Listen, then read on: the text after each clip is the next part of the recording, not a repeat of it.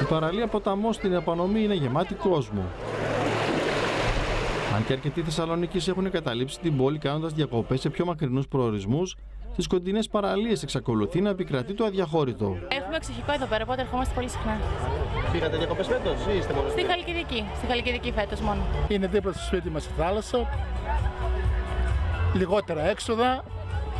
Γι' αυτό και επιλέγουμε. Καθαρή θάλασσα, ωραίος κόσμος. Έχει πάρα πολύ λίγο της κρίση. Έρχεται όλος ο κόσμος από Θεσσαλονίκη εδώ για πιο εύκολα και πιο οικονομικά σίγουρα. Και τις καθημερινές συμβαίνει αυτό; Και τις καθημέρε, αλλά γίνεται χαμός το Σαββατοκύριακο. Όσοι έχουν επιστρέψει ήδη από διακοπές και θέλουν να κάνουν μπάνιο χωρίς να διανύσουν μεγάλες αποστάσεις, αλλά και όσοι δεν έχουν την οικονομική δυνατότητα να μετακινηθούν, επιλέγουν κοντινές παραλίες όπως ο ποταμός στην Επανομή. Δεν πήγα σε άλλο μέρος. Φέτος είπα να μείνω, να μείνω εδώ. Για τα παιδιά είναι καλή θάλασσα εδώ; Τέλεια. Πολύ καθαρά.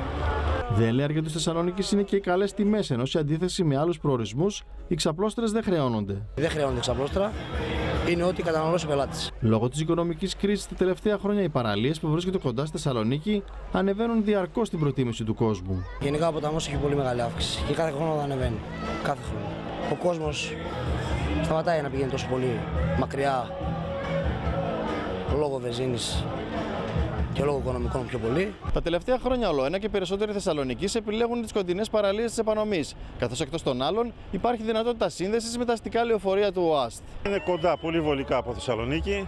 Ε, άνετα μπορεί να έρθει κανείς και με το αυτοκίνητό του, αλλά και συγκοινωνία υπάρχει μέσω επανομής. Να κατέβει επανομή και υπάρχει τοπικό εδώ λεωφορείο που σε φέρνει. Στην περιοχή ποταμός της Επανομής λειτουργούν πολλά beach bar, αλλά οι επισκέπτες μπορούν να κάνουν μπάνιο και σε ελεύθερα τμήματα της παραλίας.